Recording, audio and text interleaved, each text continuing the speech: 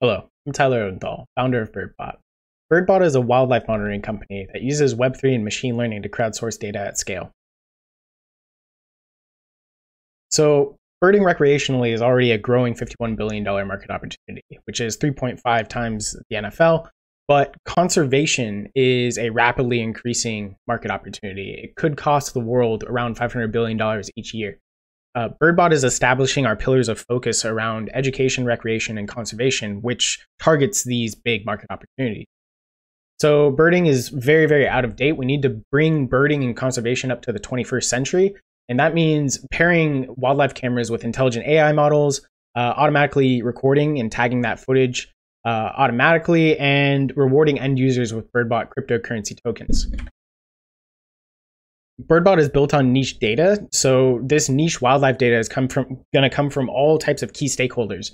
We already have the Audubon Society interested in reaching out, as well as a couple of uh, wildlife streamers and biologists and uh, research institutions. So there's a lot of opportunity to collect this data uh, at scale through key stakeholders.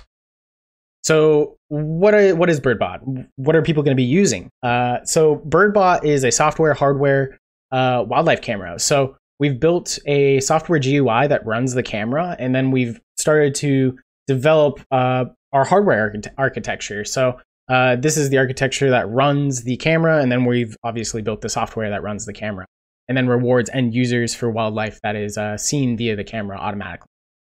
So why do we need Web3? So conservation historically hasn't been very well funded, and Web3 and blockchain has the opportunity to incentivize end users with a reason to care about, you know, open source data and, you know, collecting data.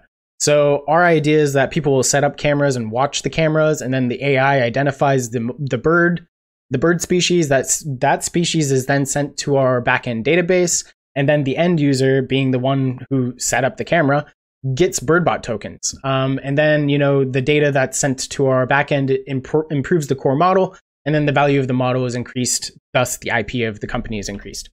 Uh, future revenue streams, we're licensing the AI model, we're selling cameras, and then we have a tokenomics.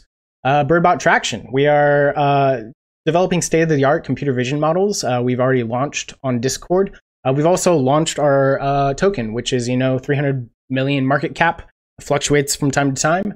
And we are also building on edge devices like the NVIDIA Jetson Nano. additional prospective use cases, boar detection model for Texas agriculture, uh, bat detection models prevent uh, windmill collisions, and you know, hunting. Hunting's huge.